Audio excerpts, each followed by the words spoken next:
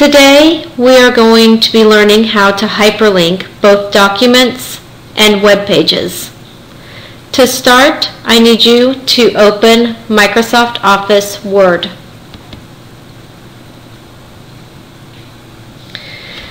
When you want to link a document, you need to make sure you have a document that you want to be linked. So when you're typing a document,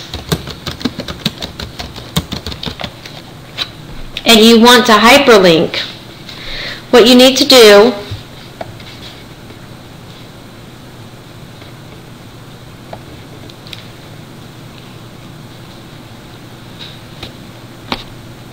is highlight the word you want hyperlinked. You do this by clicking on the word and dragging your mouse across it. Now you will go up to Insert and Hyperlink. From here, you can choose any document you want. So from this drop-down menu right here, you will be able to go where you need to go to find what document you want. So I know that my document is found in biology and it's found in cells. And I will click on the document that I want and click OK.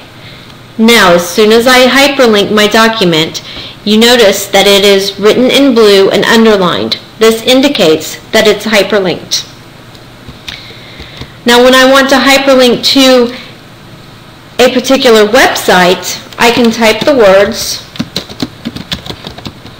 and then I will highlight the words in the same way and I can either go up to Insert, Hyperlink, or I can simply highlight and right click and choose hyperlink from this menu.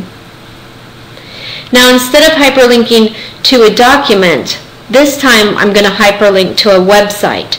So in the address bar, I can either copy and paste from the internet or I can type in the address that I want to hyperlink.